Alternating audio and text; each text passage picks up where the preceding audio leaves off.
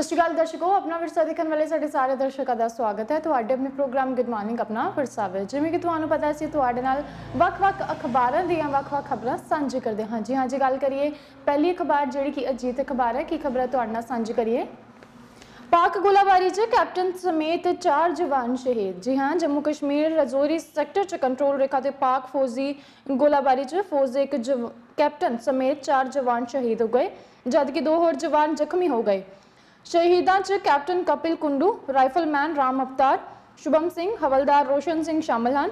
ਫੌਜੀ ਸੂਤਰਾਂ ਅਨੁਸਾਰ ਐਤਵਾਰ ਨੂੰ ਜ਼ਿਲ੍ਹਾ ਰਜੌਰੀ ਦੇ ਪਿੰਬਰ ਗਲੀ ਸੈਕਟਰ 'ਚ ਪਾਕ ਸੈਨਾ ਦੀ ਭਾਰੀ ਗੋਲਾਬਾਰੀ 'ਚ ਭਾਰਤੀ ਸੈਨਾ ਦੇ ਚਾਰ ਬਹਾਦਰ ਜਵਾਨ ਸ਼ਹੀਦ ਹੋ ਗਏ, ਜਿਨ੍ਹਾਂ 'ਚ ਫੌਜ ਦਾ ਇੱਕ ਅਧਿਕਾਰੀ ਵੀ ਸ਼ਾਮਲ ਹੈ। ਜਦਕਿ ਦੋ ਹੋਰ ਜਵਾਨ ਦੇ ਜ਼ਖਮੀ ਹੋਣ ਦੀ ਖਬਰ ਹੈ, ਐਤਵਾਰ ਨੂੰ ਹੀ ਜ਼ਿਲ੍ਹਾ ਪੁੰਛ ਦੇ ਸ਼ਾਹਪੁਰ ਸੈਕਟਰ 'ਚ ਪਾਕ ਸੈਨਾ ਦੀ ਭਾਰੀ ਗੋਲੀਬਾਰੀ 'ਚ ਇੱਕ ਲੜਕੀ ਅਤੇ ਫੌਜੀ ਜਵਾਨ ਜ਼ਖਮੀ ਹੋ ਗਏ ਸਨ। ਭਾਰਤੀ ਫੌਜ ਦੀ ਪਾਕ ਗੋਲਾਬਾਰੀ ਦਾ ਮੂੰਹ ਤੋੜ ਕੇ ਜਵਾਬ ਦੇ ਰਹੀ ਹੈ, ਜਿਸ ਨਾਲ ਸਰਹੱਦ ਤੇ ਜੰਗ ਵਰਗੀ ਸਥਿਤੀ ਲੱਗ ਰਹੀ ਹੈ।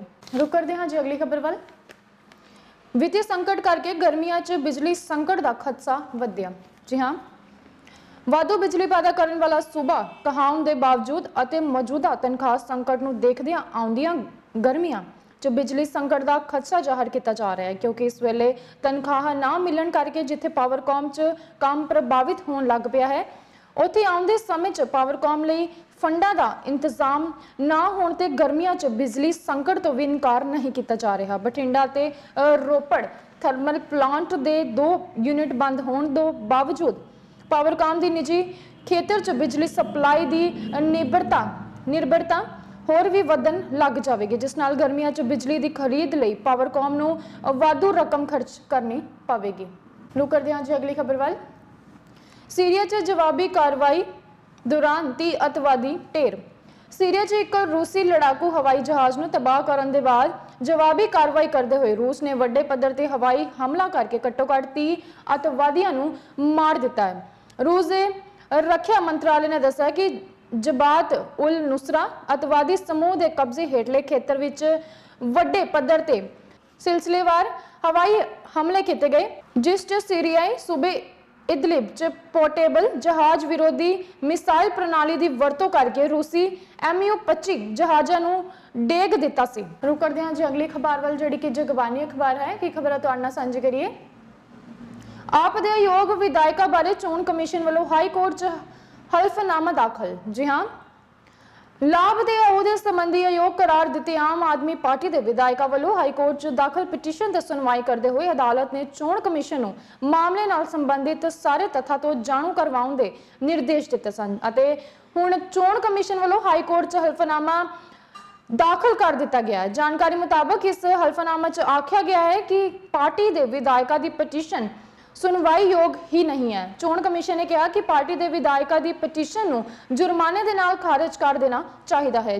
ਚੋਣ ਕਮਿਸ਼ਨ ਨੇ ਕਿਹਾ ਕਿ ਜਿਹੜੇ ਵਿਧਾਇਕਾਂ ਨੂੰ ਅਯੋਗ ਕਰਾਰ ਦਿੱਤਾ ਗਿਆ ਹੈ, ਉਹਨਾਂ ਦੀਆਂ ਦਲੀਲਾਂ ਠੀਕ ਨਹੀਂ ਹਨ। ਹਾਲਾਂਕਿ ਪਹਿਲਾਂ ਹੀ ਹਾਈ ਕੋਰਟ ਵੱਲੋਂ ਉਸ ਅੰਤਰਿਮ ਆਦੇਸ਼ ਬਰਕਰਾਰ ਰੱਖਣ ਦਾ ਆਦੇਸ਼ ਦਿੱਤਾ ਜਾ ਚੁੱਕਾ ਹੈ, ਜਿਸ ਆਦੇਸ਼ ਵਿੱਚ ਚੋਣ ਕਮਿਸ਼ਨ ਨੂੰ ਜਿਮਨੀ ਚੋਣਾਂ ਲਈ ਕਿਸੇ ਵੀ ਪ੍ਰਕਾਰ ਦਾ ਕੋਈ ਕਦਮ ਨਾ ਚੁੱਕਣ ਦੇ ਨਿਰਦੇਸ਼ ਦਿੱਤੇ ਗਏ ਹਨ। ਰੁਕ ਕਰਦੇ ਹਾਂ ਅੱਜ ਅਗਲੀ ਖਬਰ ਵੱਲ। ਬੀਐਸਐਫ ਵੱਲੋਂ 10 ਕਰੋੜ ਦੀ ਹੈਰੋਇਨ ਬਰਾਮਦ। ਜੀ ਹਾਂ।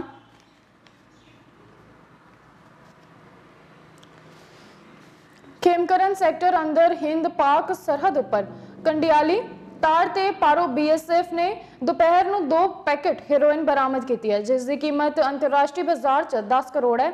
ਜਾਣਕਾਰੀ ਅਨੁਸਾਰ ਬੀਐਸਐਫ ਦੇ 14 ਬਟਾਲੀਅਨ ਦੇ ਜਵਾਨਾਂ ਨੇ ਸਰਹੱਦੀ ਚੌਕੀ ਮੀਆਂਵਾਲਾ ਉਤਾੜ ਅਧੀਨ ਪੈਂਦੇ ਖੇਤਰ ਅੰਦਰ ਕੰਡਿਆਲੀ ਤਾਰ ਦੇ ਪਾਰ ਪਿੱਲਰ 158 ਤੇ 159 ਨਜ਼ਦੀਕ ਖੇਤਾਂ 'ਚ ਦੱਬੀ ਦੋ ਪੈਕੇਟ ਹੈਰੋਇਨ ਤਲਾਸ਼ੀ ਦੌਰਾਨ ਬਰਾਮਦ ਕੀਤੇ। ਰੁਕ ਕਰਦੇ ਹਾਂ ਜੀ ਅਗਲੀ ਖਬਰ ਵੱਲ। ਦਿੱਲੀ ਹਵਾਈ ਅੱਡੇ ਤੇ ਦੋ ਚੀਨੀ ਨਾਗਰਿਕ 1.21 ਕਰੋੜ ਦੇ ਸੋਨੇ ਸਮੇਤ ਗ੍ਰਿਫਤਾਰ।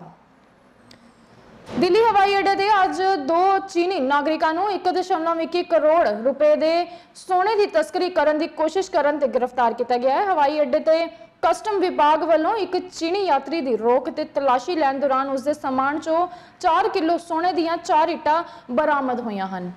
ਕਸਟਮ ਵਿਭਾਗ ਵੱਲੋਂ ਦੱਸਿਆ ਕਿ ਉਕਤ ਯਾਤਰੀ ਨੇ ਆਪਣੇ ਸਮਾਨ 'ਚ ਸੋਨੇ ਦੀਆਂ ਇਨਾਂ ਇਨ੍ਹਾਂ ਇੱਟਾਂ ਨੂੰ ਅਖਬਾਰਾਂ 'ਚ ਲਪੇਟ ਕੇ ਪੈਂਟਾਂ ਦੀਆਂ ਜੇਬਾਂ 'ਚ ਛੁਪਾ ਕੇ ਰੱਖਿਆ ਹੋਇਆ ਸੀ।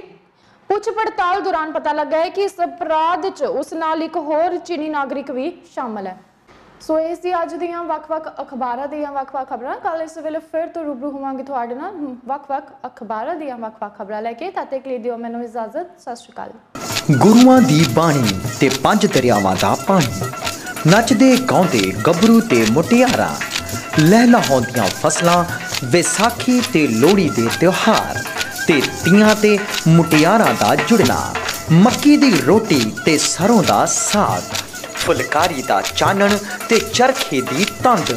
ਯਾਦ ਦਿਲਾਉਂਦੀ ਹੈ ਸਾਨੂੰ ਸਾਡੇ ਅਮੀਰ ਵਿਰਸੇ ਦੀ। ਤੇ ਇਸੇ ਵਿਰਸੇ ਨੂੰ ਤੁਹਾਡੇ ਲਈ ਲੈ ਕੇ ਆ ਰਿਹਾ ਹੈ ਤੁਹਾਡਾ ਆਪਣਾ ਡਿਜੀਟਲ ਚੈਨਲ ਆਪਣਾ ਵਿਰਸਾ। ਦੇਖਣਾ ਨਾ ਭੁੱਲੋ, ਆਪਣੇ ਐਂਡਰਾਇਡ ਅਤੇ ਐਪਲ ਫੋਨ ਤੇ ਤੁਹਾਡਾ ਆਪਣਾ ਚੈਨਲ ਆਪਣਾ ਵਿਰਸਾ।